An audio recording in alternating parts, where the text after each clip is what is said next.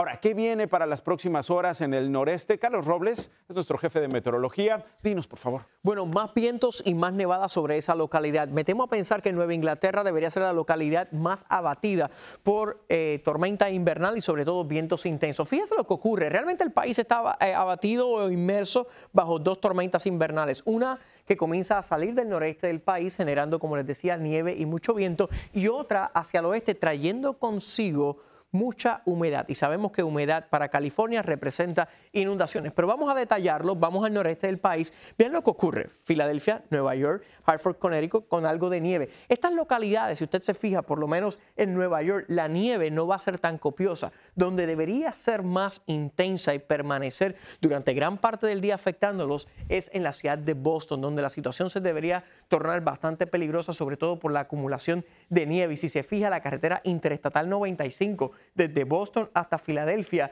viéndose afectada. Fíjense lo que va a estar ocurriendo. Toda esa nieve debería estar durante el resto del día de hoy, mañana durante horas de la madrugada y ya en la tarde totalmente salir. Ahora bien, luego que salga la nieve, saben que el viento va a comenzar a soplar fuertemente, así que manejar va a ser un peligro, ráfagas de viento superando las 40 millas por hora. Y Nueva Inglaterra recibiendo entre 6 a 12 pulgadas de nieve sobre ese sector. Debemos decir que puede ser la tormenta más intensa de lo que va de este invierno. Justo detrás de ese sistema frontal que existe aire muy frío. Estas son las máximas hoy. Vean en New Orleans, en Houston, en Atlanta, entre los 60 a 50 grados en plena primavera. Y mañana muchas localidades, inclusive tan al sur como en la Florida, en los 40 en Orlando, en Miami en los 60, así que un abrigo ligero va a ser necesario para estas localidades, mientras en el norte temperaturas en el rango de los 30. Vamos a la otra problemática, la costa oeste del país. Y nuevamente California inmerso